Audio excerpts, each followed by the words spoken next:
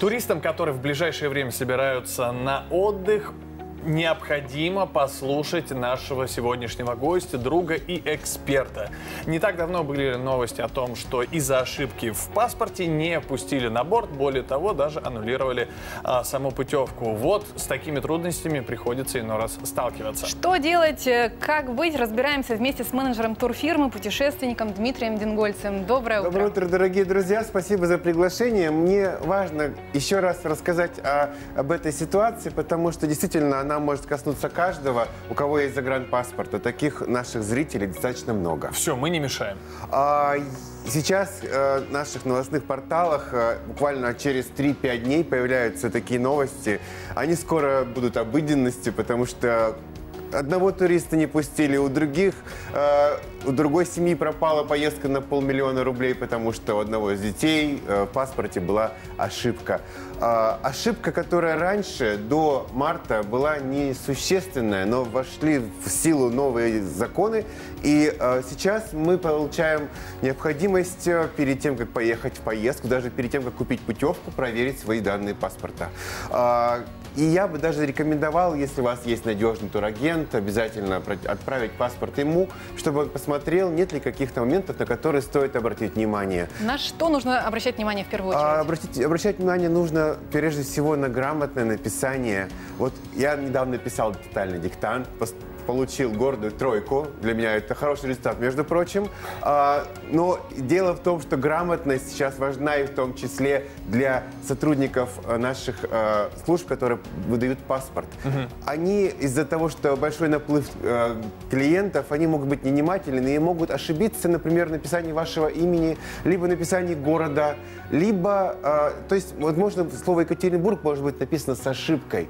Если вы получаете паспорт, например, в другом регионе, кто кто-то может ошибиться в написании с- просто с Свердловской области. И получается та самая проблема, что ну, мы видим, что вроде все в порядке, а в документах, э, когда мы проходим границы, получается, что это ошибка, и это влечет за собой момент, что у вас забирают паспорт, и поездка у вас не состоится. уже не состоится. Поэтому это первый момент. Просто проверьте на наличие орфографических ошибок. Написание имени, фамилии, отчества. Вот то, что вам вот буквально, вот, ну, то, что привычное, окажется, может быть, это ошибка. Ну, еще есть такая машиночитаемая строчка, потому что э, это то, на что мы даже раньше не обращали внимания. Но там важно проверить, что, например, есть буква М и Ф.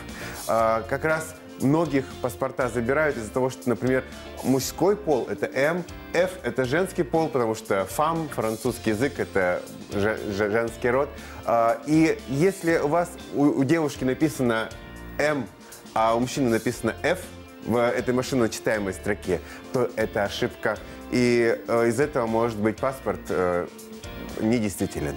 Поэтому я призываю вас отправить ваши данные надежным турагентам, чтобы они посмотрели своим опытным взглядом, ну, либо обратиться к опыту интернета, потому что действительно не хочется, чтобы ваш отпуск был испорчен.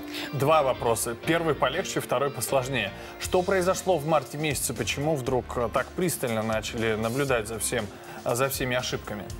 А, Вошел в действие новый закон, э, который подписал президент, и там сейчас действительно важно, чтобы вот те моменты, которые раньше не учитывались, которые пропускались, которые допускались, они сейчас э, уже не, э, не актуальны. И если в паспорте возникают какие-то ошибки, ну, об этом можно ну, достаточно долго говорить, но, конечно, очень много в интернете информации, почему это появилось. А, И э, я считаю, что вот эти ключевые моменты, которые могут быть оши- ошибки, вот эта машиночитаемая строка, орфографическое написание. Ну и, например, э, я часто сталкиваюсь с тем, что к нам обращаются туристы, которые вот давно уже, мы года 4-5 назад поменяли фамилию, у них загранпаспорт старый, а они путешествуют, и они по нему путешествуют, а э, уже вышли замуж, и поэтому сейчас российский паспорт на одну фамилию, загранпаспорт на другую фамилию. А Сейчас э, срок замены таких вот данных не регламентирован, как мы выяснили, но все равно важно поменять паспорт, когда Чтобы у вас было есть меньше такая проблем. возможность, чтобы было меньше проблем, потому что для страховой компании, если возникает необходимость использовать страховкой за границей, такого человека не существует. Потому что, э, э, например, мы едем по паспорту, который был получен в девичестве, а страховая компания обращается, э, просит предоставить пакет документов, а вы показываете один паспорт с одной фамилией, другой паспорт с другой фамилией, и для них это причина не компенсировать вам ваши страховые расходы. Если вдруг уже попали в такую ситуацию, что вот ошибка в паспорте, не пускают, э, значит, не выпускают э, в, в поездку, можно ли что-то вернуть, какие-то средства, как э, возможно ли это вообще сделать? Очень хороший вопрос, потому что, конечно, тур- турагентам начинают туристы звонить, ну или не только турагентам, они просто начинают понимать, кто, что же делать. А, Конечно, это не страховой случай, потому что в страховых э, страховках не прописана ситуация, что туристы могут не пустить за границу из-за ошибки в паспорте. Поэтому от этого нельзя застраховаться, это важно еще раз просто проверить. Если вы такую ошибку нашли, то бежать э, в наше место, где вы получаете паспорт, э, и просить оперативно заменить. Они попросят вас оплатить еще раз пошлину. А, Ну и важно, если вы, когда получаете новый паспорт, вас просят обязательно проверьте свои данные. Не будьте на этих седьмых небесах, не отвлекайтесь.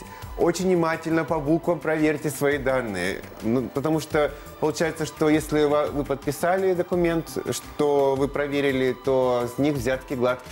То есть, получается, можно бесплатно его а, вернуть, и его переделают. В, в Если- момент, если вы в еще не да. получили паспорт. Ну, э, до подписания, До подписания, да. Если же вы уже получили, то на усмотрение сотрудника э, наших органов, кто выдает паспорт, э, потому что вообще-то они могут попросить вас э, оплатить еще раз пошлину. Ну и э, я еще, конечно, хочу коснуться страховок от невыезда, потому что это ситуации, которые наши туристы э, все-таки многие сейчас реаг- э, думают на авось, потому что ну, со мной этого может не произойти, турист думает, но ситуаций, где могут потребоваться страховки от невыезда, очень много.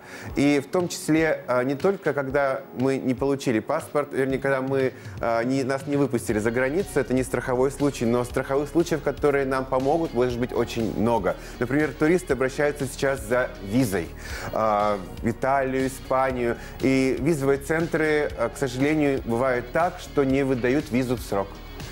Такие ситуации у турагентов встречаются часто. У нас была ситуация с итальянской визой, что визу выдали тогда, когда туристы уже должны были быть в поездке. И это и страховки не было у туриста от невыезда, и поэтому получается, что он потерял деньги. Это вот страховой случай, можно обратиться за возмещением, э, за возмещение своих издержек потраченных на отдых. Но еще, конечно, это связано с ситуацией с болезнью, а, когда туристы не могут поехать по вот этой вот уважительной медицинской причине. Ну и а, множество случаев, когда страховка от невыезда влияет. И чем дороже страховка, тем больше случаев. Поэтому не жалейте на себя денег, покупайте страховку от невыезда, потому что она выручит, даже если у вас просто простуда. Здесь вот мы должны уже прервать. Дима, огромное спасибо, что Я, конечно, обязательно буду рассказывать тему. об этом, потому что моя миссия, чтобы ваши поездки были э, без сучка и задоринки. Я вас поздравляю с наступающим праздником 9 мая. Э, мирного неба над головой.